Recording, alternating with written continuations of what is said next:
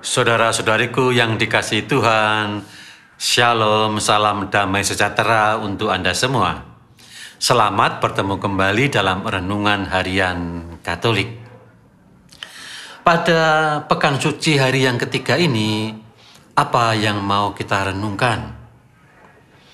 Kita mau merenungkan bahwa waktu Paskah adalah waktu Tuhan kita Yesus Kristus maka berikan waktu kita yang sedikit ini kepada Tuhan untuk hari raya Paskah yang akan kita rayakan. Orang mengatakan time is money. Waktu itu sungguh-sungguh berharga untuk menghasilkan sesuatu yang berharga. Tetapi ternyata waktu itu bukan hanya berkaitan dengan banyaknya sebuah hasil dalam ukuran uang, waktu itu juga menyangkut saat-saat yang indah. Maka orang mengatakan time is memory. Waktu itu juga berkaitan dengan putaran lomba dalam hidup. Kita berjuang dari hari ke hari, minggu ke minggu, bulan ke bulan. Maka orang juga mengatakan time is lapse, seperti lapse atau lomba berapa lap sudah berlalu. Namun juga waktu berkaitan dengan saat-saat mencinta. Maka orang juga mengatakan time is love. Lalu bagaimana dengan waktu bagi Yesus? Dalam memberi makna waktu terutama dalam pekan suci ini, dapatlah kita menemukan sebuah tema yang berkaitan dengan waktu, bahwa waktu adalah waktu Yesus, waktu pemenuhan. Oleh karena itu, mari kita temukan dalam Injil Matius bab 26 ayat 14 sampai 25. Saya akan mengutipnya dari ayat 17 sampai dengan 19 yang berbunyi demikian.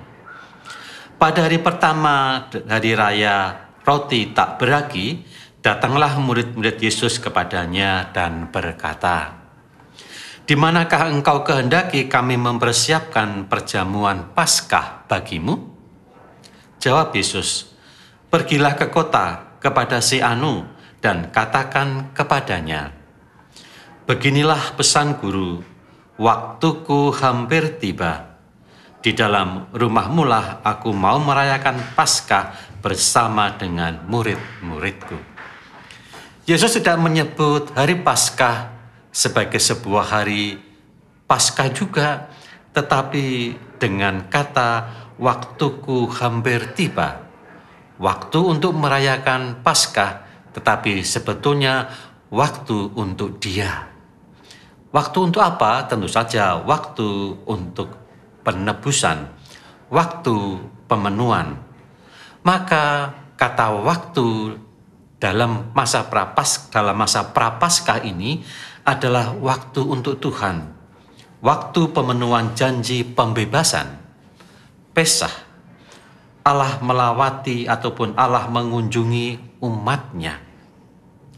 Saudara-saudaraku yang terkasih, besok kita memasuki Kamis Putih dan apakah Anda sudah juga memikirkan waktu seperti Yesus? Apakah Anda juga sudah mengatur jadwal Anda? Apakah Anda sudah menyediakan waktu yang cukup berarti untuk Anda beri makna untuk kehidupan Anda?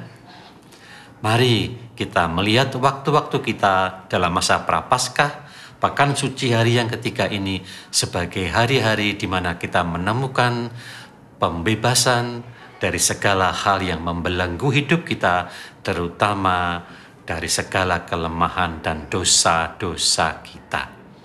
Amin.